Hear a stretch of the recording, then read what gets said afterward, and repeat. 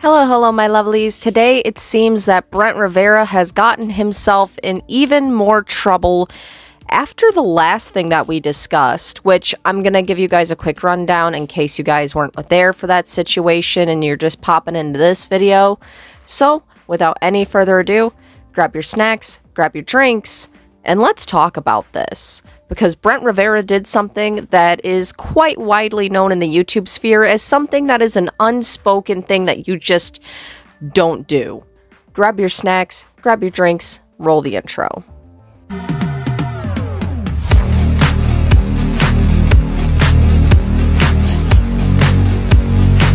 Welcome back. Now, for those of you needing a refresher, Brett Rivera is a well known YouTuber who basically makes content for kids, or his demographic is mainly for kids, doing things like pranks with his group of friends that are also widely famous as pr- pretty much because of association with him.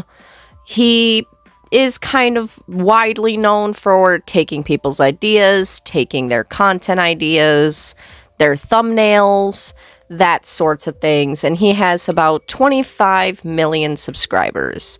And he got into a situation with another YouTuber called Tyler Oliveira.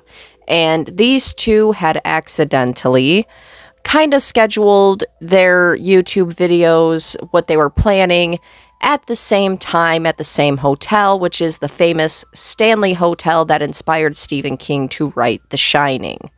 And while they were at the hotel, Brent I mean, Trent got surprised by a couple of girls that basically admitted that they were there and being paid by Brent Rivera's crew, and they were dressed like the two girls from The Shining. It all started when I was staying at the Shining Hotel, came out of my room, and randomly found these two girls in the hallway. What is happening? They're having a video where he's pranking. Who? You'll see. Who are you people? What do you mean? What is your name? Brent. Brent? Brent? Last name? And this ca- was the catalyst to basically spearhead an, a bunch of events that resulted in Brent not looking good at all. And Tyler, well, Tyler wasn't, you know, completely innocent in this situation, but I think everyone can agree that Brent and his friends really did come out looking much worse than Tyler did. Like, does it look like Tyler kind of was egging them on a little bit? Yeah. But at the same time, the things that they said were just uncalled for. Like, Tyler being mocked for filming on an iPhone, or Brent, or, or Brent especially telling him that good luck with your 100 subscribers, pal. Yeah. Do you fake your videos? No. Do you fake your videos? No. Film on an iPhone. Oh god, Brent Rivera's right there. Hey, uh, go have fun with your uh, 100 subscribers, bud. We get that louder. You don't have you know the directional mic on my camera? Hey, we're, we're filming our thing. You Yeah. film yours. Okay? Yeah, Let's yeah. not let's not be Okay, that's let's reasonable. not be disrespectful. Okay. Well, you guys don't shit talk to the iPhone I don't though. appreciate the disrespect. What, what disrespect? I literally walked out of my hotel room and nearly had a heart attack. Why did you walk up to us, like enter our space? I, I paid $400 a night for the hotel. What do you mean? Yeah, but Yeah, if we were sleep here, normal all you- guests, that would Whoa, whoa, whoa. Okay. Normal guess. You think you're elevated beyond an average human being? You've ascended the human. Obviously, Wait, what are you? dude. Wait, who are you? You're harassing our tour. So I start walking to my room, grateful for Brent's mercy. Brent, is that you? It was him. They were all staring at us and filming us on, guess what? An iPhone. Bro, are you recording us? Did you guys film your video? You guys don't use iPhones? We can't afford a real camera. You guys finish your video? No. Oh, we're not gonna be able to finish it then. What do you mean? I'm sorry. They're gonna come and get get you guys. They're gonna kick you out. What do you mean? We paid All right. $375, Brent. I'm sorry. I'm not as rich as you, Brent. You're- This is the third time harassing us. Don't harass. Whoa, whoa, whoa, whoa. You recorded me. I'm recording you because you guys are coming up to us Oh, okay. every single second of the time. Whoa, we walked in. We're on the same All floor. right, well, he's coming now, so I mean, you guys are just gonna have Is to. Look at the guy behind you. It's like, you, what do you mean? Who is that guy? Why? I have no clue. Listen, this is our personal space, and you're you're recording No, you closed the door and then you opened it and whipped out the camera. Because you guys are literally outside of. No, no, we were on our way to the room. Roll the clip. All right. Brent, is that you? Well, you guys have about like a minute to finish your video, and then you guys are probably gonna be on your way out of here. Brent, no! Brent, on my knees, please spare me, Brent. What the fuck is going on? Almighty God, Brent, spare me. I spent 375 on this video. and then his ex girlfriend Ava, who since my last video, I didn't even know that this girl was his ex girlfriend. And apparently, she said that he wasn't good in bed because he lacked experience, and she called him the worst YouTuber in bed. No! I got my worst influencer in bed award goes to. Oh, why'd you look at me, Charlie? I swear to God. Um, we know who this answer is. No, we don't. Tell me. Drink your answer, but I don't want to do it to him. Say it. If anything, it'll only motivate him to get better. Yeah, he'll be more focused. Put on the focus game. I'm gonna say it. I'm gonna say it. Okay. I'm gonna say Brent because he lacks experience. That's all it is. That's all. it And is. you're still hanging out with him? Or you're still hanging out with her?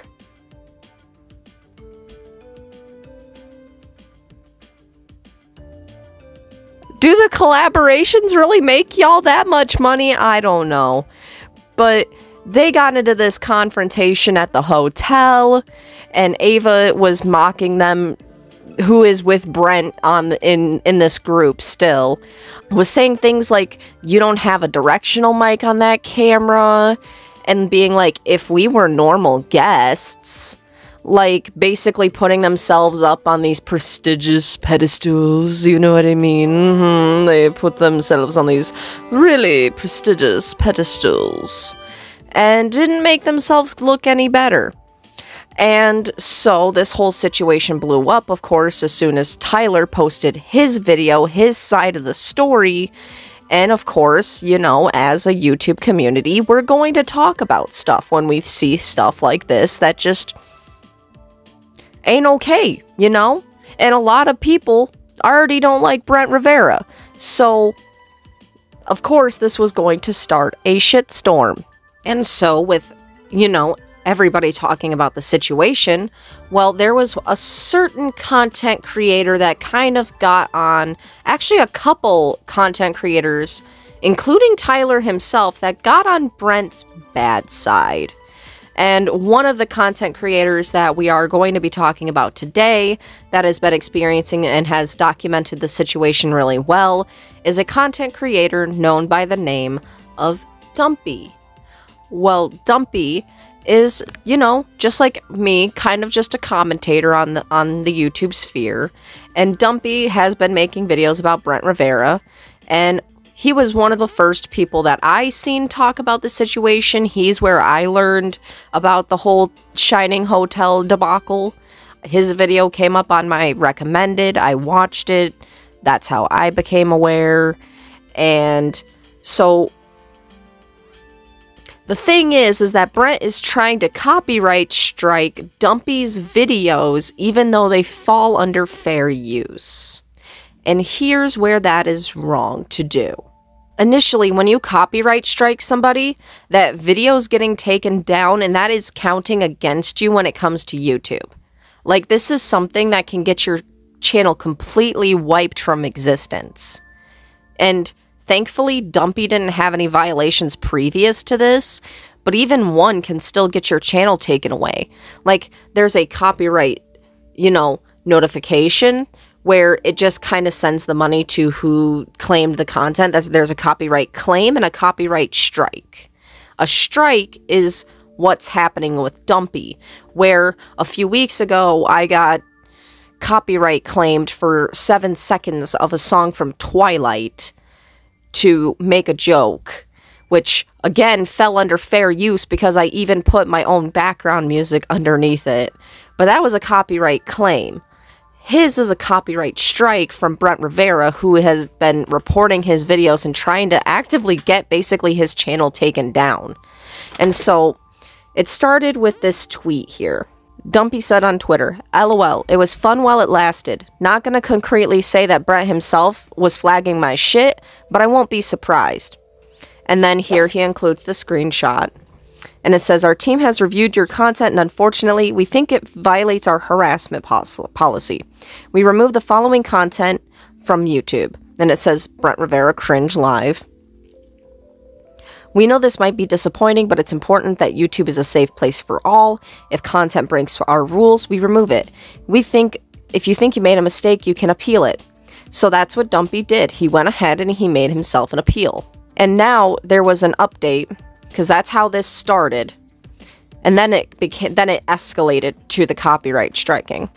It says update. Brent Rivera has now begun giving me copyright takedown requests for my fair use content where I criticize his videos.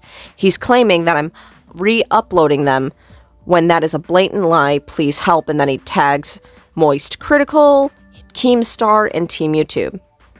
And then here's another screenshot. And first he says, Brent claims that his entire video was re-uploaded by me. This is false. I use transformative content commentary videos that falls under fair use. I will link them below. And so here's the copyright thing. I'll be putting it up here on the screen. And the first thing says URL of allegedly infringing video will be removed. So that's basically the rem the removal of his video. Describe the work allegedly infringed. And then Brent Rivera or whoever filed this whole copyright takedown says, My YouTube video was re uploaded by another user. And then it says, Where does the content appear? The entire video. Which I've been watching this whole situation unfold mostly through Dumpy's videos because Dumpy is like one of the first people reporting on this Brent Rivera guy. And which, shout out to Dumpy for that one, for keeping me informed on the whole thing. But I watched his content. Everything falls under fair use. He's not using the entire video as one big clip. He's actively taking like 5 to 10 second clips, pausing it, reacting for at least like 2 minutes at a time and then going back to the video. And on top of that, there's all these edits on top of Brent's video. It's completely transformative and completely falls under fair use. And one thing about these copyright strikes and takedowns is you fucking can't lie. You can't freaking lie on these forms. When you sign these things, they even put that if you are falsifying information to get a get something taken down and therefore causing a strike on someone else's channel, that if you're lying about this, you can be held and your whole channel be removed no strikes, no nothing. Like, if you lie about this, you can actively get your channel taken away. Not to mention, the video that Dumpy made, or some of the videos that Dumpy made, are like the first big videos he's ever gotten. Like, these are some of the big, the biggest views that this guy's ever gotten. And making money on YouTube doesn't happen. I mean, I can say for myself, I just got my tax papers from them and this is my first year being monetized, I've only made like a total of 340 some dollars. The whole year. And I've been posting at least every other day, except for the couple times I've had to take breaks. Like, making money on YouTube is hard unless you're a big YouTuber. I don't know where the whole thing is that, like, if you're an if you're a YouTuber, you're instantly rich. I'm not instantly rich, y'all even though that's not the thing I'm after, but like still, I'm not rich. I mean, why do y'all think I have a little tiny microphone that plugs into my phone attached to a back scratcher attached to a broken tripod? I'm not rich. And this was like one of the first big videos that Dumpy ever got. So he made like $2,000 from one one of these videos.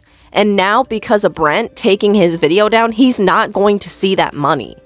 He's not going to see that money while Brent has 25 million subscribers and is probably making two grand a pop.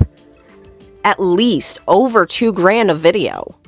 Like, this just isn't fair in any way, shape, or form. So, him claiming that the entire video was stolen is just not, it's just not, it's just not true not true in the slightest. So, to finish up reading this whole um, screenshot here, it says, describe the work of allegedly infringed.